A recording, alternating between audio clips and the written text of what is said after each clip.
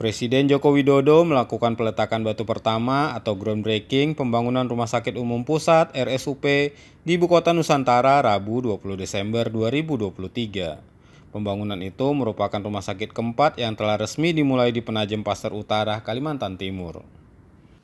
Sudah mulai dibangun tiga rumah sakit swasta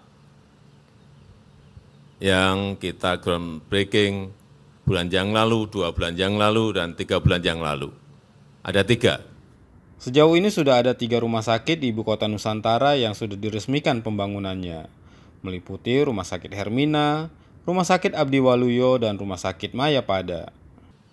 Dan hari ini kita groundbreaking lagi untuk Rumah Sakit Umum Pusat yang akan dibangun oleh pemerintah.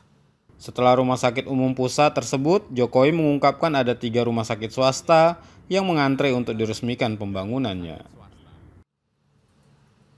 Saya nggak tahu di ibu kota Nusantara ini kok berbondong-bondong orang mendirikan rumah sakit. Namun demikian dengan banyaknya rumah sakit di Nusantara, Jokowi berharap tidak ada lagi masyarakat yang pergi berobat ke luar negeri. Kini semua bisa dilakukan di dalam negeri termasuk di ibu kota Nusantara. Ini nanti mestinya kalau sudah jadi semuanya tidak ada lagi masyarakat kita yang pergi ke Malaysia, ke Singapura, ke Jepang, untuk ke Amerika, untuk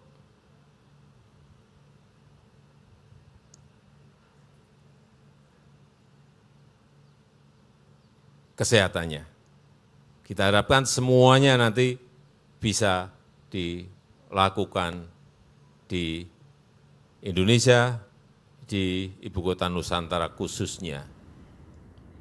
Nantinya RSUP di Nusantara akan difungsikan untuk penanganan penyakit jantung dan stroke. Namun jika melihat hijaunya ibu kota Nusantara, Presiden berharap penyakit seperti stroke dan jantung bisa hilang. Dan dengan mengucap Bismillahirrahmanirrahim pada siang hari ini, peletakan batu pertama groundbreaking Rumah Sakit Umum Pusat di Ibu Kota Nusantara secara resmi saya nyatakan dimulai. Sebelumnya, Presiden Jokowi telah melakukan peletakan batu pertama pembangunan Rumah Sakit Mayapada Hospital Nusantara pada 31 Oktober 2023. Berikutnya Rumah Sakit Abdi Waluyo pada 22 Desember 2023 dan Rumah Sakit Hermina pada 1 November 2023. Presiden menargetkan pembangunan rumah sakit di IKN itu selesai pada pertengahan 2024 agar bisa dimanfaatkan oleh masyarakat setempat. Sebelum HUT ke-79 RI pada tanggal 17 Agustus 2024, ditargetkan empat rumah sakit di IKN selesai dibangun, yaitu sebuah rumah sakit vertikal dan tiga rumah sakit swasta pemerintah melalui Kementerian Kesehatan akan memenuhi tenaga-tenaga kesehatan untuk rumah-rumah sakit di IKN tersebut. Tim Liputan melaporkan untuk Apa Habar.